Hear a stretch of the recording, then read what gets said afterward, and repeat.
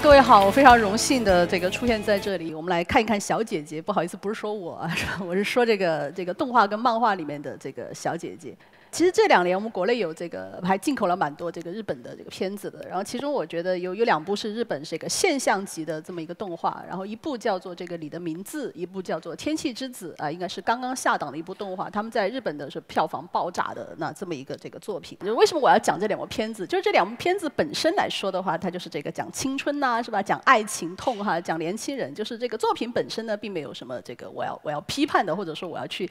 深入剖析的这么一个这个部分，但是我觉得，既然它作为现象级，既然它票房是爆炸的，那么我觉得，做一个社会科学的这个研究者，如果我不把它跟这个什么大众潜意识啊、大众文化联系起来来分析一下的话，我觉得是非常浪费材料的啊，是吧？所以说我这里必须要来开一下这个脑洞。那不好意思，我 N 和 L 始终分不清楚，我已经放弃治疗了，所以大家就猜吧。我说的是这个，我就要开一下这个脑洞。我觉得很有意思的就是这两部作品里面关于神道教和这个个巫女。啊，对吧？如果有看过会知道，神道教和巫女在这部作这两部作品里面，其实都是非常重要的、非常核心的那这么一个这样的一个因素。那我相信这个，因为日本的这个动画跟漫画里面，这个神道教的元素还有巫女的形象，其实出现这个所谓巫女的形象是出现的是挺多的。所以我估计就可能有观众是不是哎，这个在你的内心当中也存在着这么一个喜爱的形象啊，是吧？我的这个我不知道现在弹幕有没有飞过这个谁谁谁是我老婆这样的。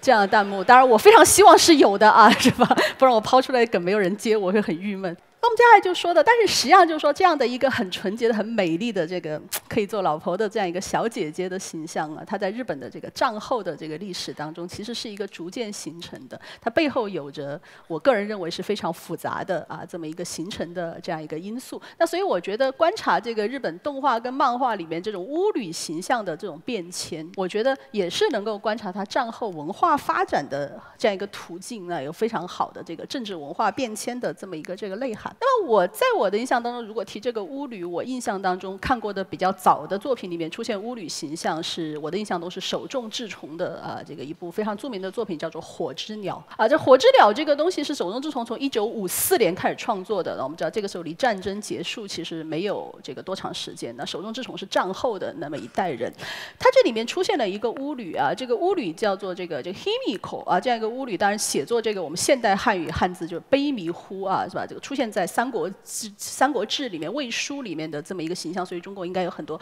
人也非常的这个熟悉。然后这个悲弥呼这样一个，这他在《火之鸟》里面的形象呢，他在《火之鸟》的形象就是一个我们讲一个政教合一的奴隶主的统治者。他身上其实融合了什么元素呢？我们基本上可以看到他身上融合的元素就是，比如残酷的政治斗争呐，比如奢侈淫靡啊，比如这个伪装神的旨意，然后对自己的人民进行统治啊，总之就是蛮糟糕的啊，是一个非常反面的。人物，那严格来说，肯定说我们按照严格的历史，这个悲迷糊肯定不是神道教的巫女了。但是显然，这个手冢治虫在塑造这个人物的时候，其实就反映了他们战后的那一代人对日本的这个政治当中一个非常重要的因素，叫做国家神道教的啊，国家神道教的这么一个态度。就是日本这个神道教，它原本是属于哎一个原始日本原始的这个宗教，然后它在历史的过程当中，它不断的融合了各种各样的这样一个文化的或者宗教的这么一个这个成。分，然后又因应了各种历史的这个时事，那然后最后形成了，慢慢的形成。但是呢，到了这个日本的江户幕府的这个末期末期啊，因为有很多人他们要做这个尊王攘夷啊，是吧？要尊王攘夷，要在日本进行这个改革。那这个时候他觉得要有一个精神动力，所以他们那个时候就说好了。我们这个神道教很重要，但是呢，这个神道教里面杂质太多了啊，什么儒儒家的呀，什么道教的呀，什么乱七八糟成分太多了，佛教的成分，那我们要把这些东西全部排除出去，排除出去，然后建立一个非常纯洁的这个精神宗教，他们把这个东西叫做复古神道教，然后这个东西就变成了这样一个，哎，他们当时尊王攘夷的这样一个精神动力。然后呢，后来尊王攘夷胜利了之后，那明治维新要建设这个近代国家嘛，说建设这个近代国家，我们要一个核心精神，那好了，我们就直接把这个复古神道。教弄来作为我们近代国家建设的这么一个核心精神，那于是我们出来就是什么呢？就是一个政教合一的那这么一个这个天皇制。那么国家神道教这个神道教就成为了日本政治文化和政治精神的一个核心。当然，我们说相应的，它也成为了对外侵略的一个非常重要的这个精神动力啊。我们大家都很熟悉所谓神风特工队，看到那个神字没有啊？是吧？好。那我们接下来看，比如举一个例子，比如说我们都很熟悉的靖国神社。啊，是吧？金国神社就是一个这个所谓的国家神道教的这样一个官方神社。那我们知道它的这个作用，它的作用里面就是供奉这个明治维新以来日本历次战争当中这样死亡的这些英灵啊，是吧？所谓的这个英灵。那然后呢，在这个战前，这个日本的官方是主导这个的祭祀活动的，这就是国家神道教的一个这个体现。所以后来这个日本在进行政治改革啊，政治改造的时候，这个国家神道教就是一个重点的这个改造对象。那美国人就发了一个文件，叫做这个神。神道指令啊，把就把这个神道教的官方地位给这个废除了啊，这样政治上的神道教就没有了。所以我们就可以看到说，为什么在手冢治虫的这个作品里面，这个巫女，这个政教反映政教合一的政体统治的这么一个巫女，她一定是一个反派。必须是一个反派，这是一个绝对的反派。但是由于明治维新以来，这个神道教它已经在近代国家建设当中已经渗入了日本人的生活当中，那所以我们不可能一刀切的把生活当中的神道教全成分全部把它给抛弃掉。所以生活当中的神道教它就被保留了下来，这也是算是尊重个人生活或者是信仰，是吧？我们说也不，这肯定不是一个坏事啊。就好像比如说我们今天现在到日本去旅游啊，其实很多我们的这个网红旅游地啊，像我所知什么奈良的。这个春日大社啊，东京的明治神宫啊，那都是这种生活当中的神道教的体现。我看。我们都可以在那儿拍出很好看的照片，那不然如果废除了这些照片就没有了啊，是吧？总的来说啊，我们就说这个战后日本有个分裂，呃，战后对这个政治神道教是这个彻底的批判，但是对这个生活中的这个神道教会持一个宽容态度。但是到了后来，我们可以慢慢看到，它作为日本的一个文化特色，其实它受到的宣传是越来越多，所以这里就可能会诞生一个灰色地带。我还是回到这个靖国神社。那比如我们也很熟悉的，就很多政治家他会去参拜靖国神社，是吧？这个很糟糕的一个事情，就参拜靖国神社。但是呢，如果这个政治家说我是公职参拜啊，以我这个政治家的身份去参拜，那么舆论就肯定会比较的这个炸。啊，舆论就说这个是违背了政教分离的原则，那所以这个肯定是要批判的。但是如果这个政治家说我是这个私人参拜啊，虽然我是一个政治家，我的影响力很大，但是呢，我是以私人身份去参拜的。那么这个时候，可能我们讲舆论就不会有这么一致性的批判，但是肯定批判的声音是有的。但是显然就没有公职参拜的时候批判的声音更大。那所以这其实就是一个比较纠结的这么一个灰色地带。它带来了一个什么样的这样一个结果呢？就是其实我们可以看到说，生活中的神道教作为日本的文化特色，由于它的宣传是越来越正面的，我们对它的烘托是越来越正面的，那它就存在一个可能性，它是会反过来去削弱这个政治神道教的这么一个负面性。这就是一个灰色地带所带来的东西。那于是，其实我们就可以看到，就像手中之虫那样，就看到神，看到这个巫女啊，看到这个政教合一，就赶紧要批判的这样一种心态，这样的一种作品，在后来的这么一个作品当中就会比较少了。那我们来看看后面的作品，慢慢慢慢是什么样子的。那我这个时候又想到了另外一部这样一个作品啊，就到了这个七十年代和九十年代，是日本经济高速的发展，人民生活水平迅速提高，然后消费高度发达的那这么一。一个这个时期，那这时期有一个我个人很喜欢的作品，我是要强烈推荐的，叫做这个《福星小子》啊，创作于这个七十年代到八十年代之间的啊这么一个作品。在这个作品当中呢，就有一个我觉得很有意思的这个巫女形象。那这个巫女是这个巫女是一个学校的高中的医务室的这个老师。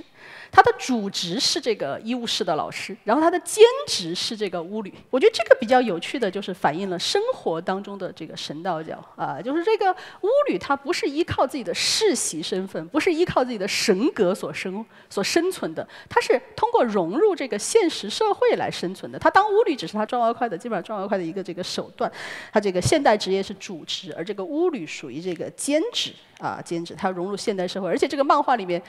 这帮人还老骂他，他说你是一个没有执照的巫女啊，这样一个概念。所以我觉得这是一个就是一个很战后的、非常现代的、比较现代的，可以说比较进步的那这么一个意识了。在这里面，这个巫女就是说，她尽管具有巫女这么一个这个有趣的文化属性啊，但是这个女生她就是一个普通的城市的这个性感美女，一个城市美女。必然会具有的一些缺点和这个优点，当然是非常夸张、非常诙谐的这个表现出来。神在这里，神这个属性，它只是让这个故事更加的有趣，它只是一个佐料，它让这个世俗生活显得非常的这个有趣。呃，就是尽管这个故事里面经常出现一些怪力乱神，而且还有一个很重要的一点，就是在这个。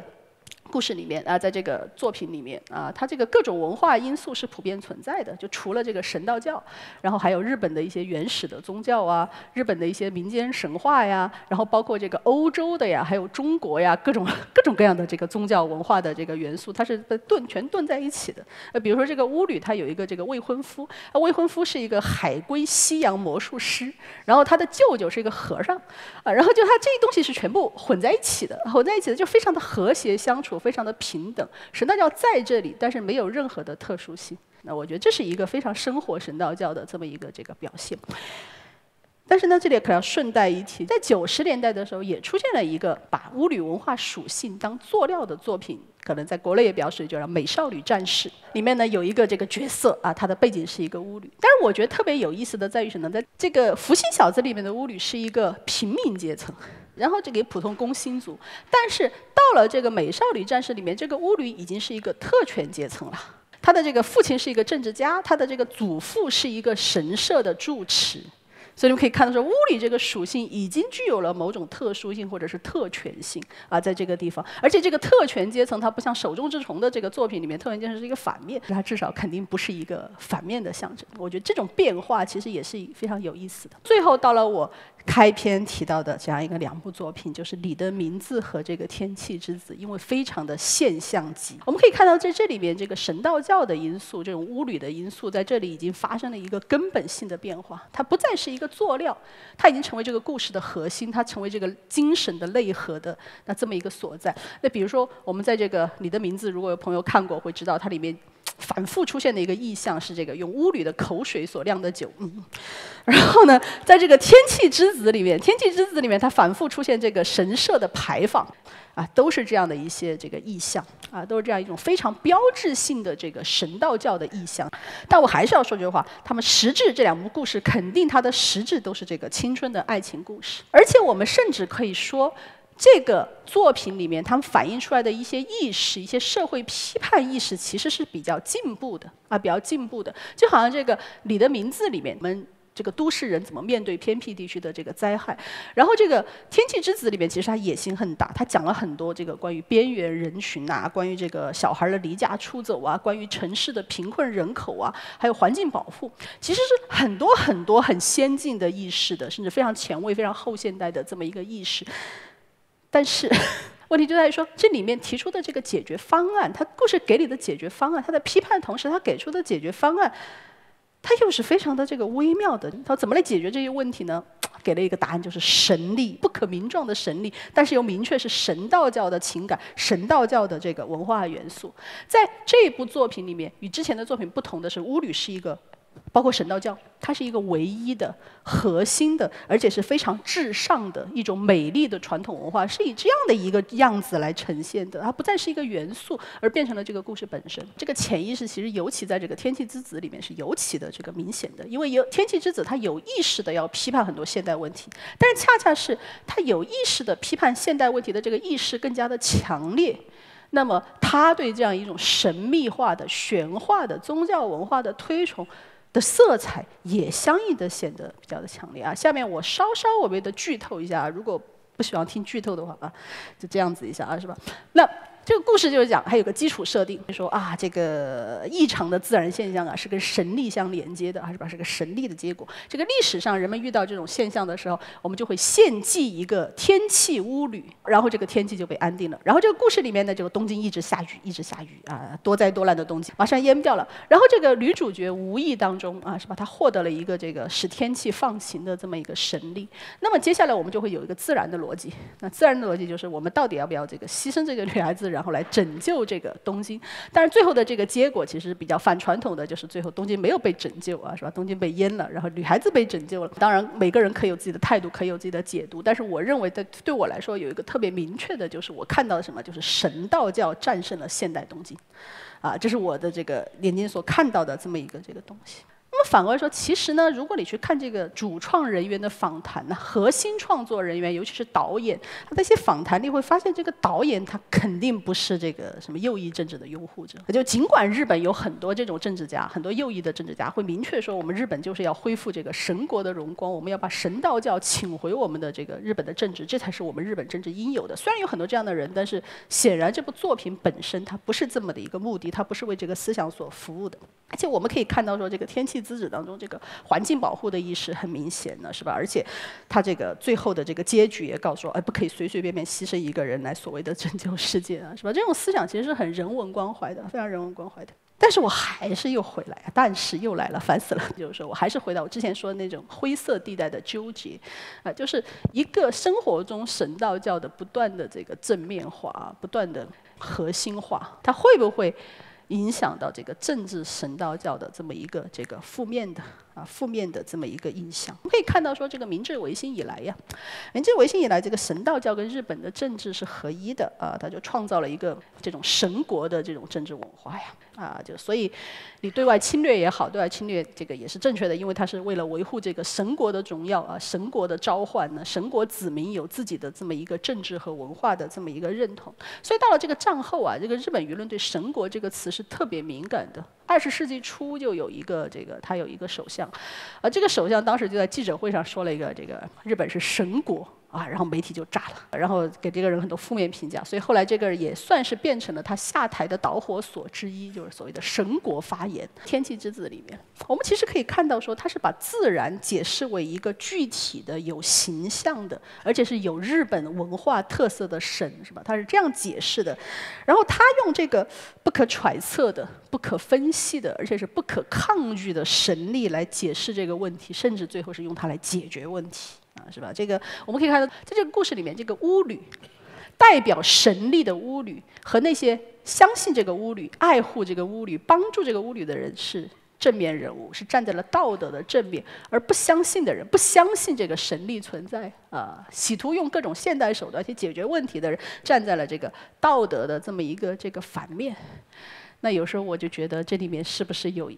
两个字就浮起来？这不就是独一无二的这个神果吗？神果，所以我相信，可能现在不管在座的观众，也许弹幕说这个这个人在上岗上线呢，我也觉得有一点。你说前面那个神果为什么被批判？因为那是政治家说的啊，是吧？后面这个为什么不被批判？因为他不是政治家说的啊，不是政治家说，他不是政治的。所以你如果要把它跟政治联系起来讲，会不会有一点上纲上线？但是，我来假设一个场景，这个场景首先是这样的：一个政治家说，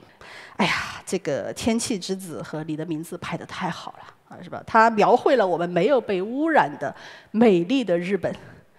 啊，那你说大众听到这句话会是什么反应呢？好，然后接下来这个政治家又讲，我们应该保护这个传统美丽的传统文化呀，使我们的这个社会更加的纯洁。好，啊，这句话你又会怎么想？然后他接下来他又说，接下来哈，接下来他接下来又说说，哎呀，你看呐。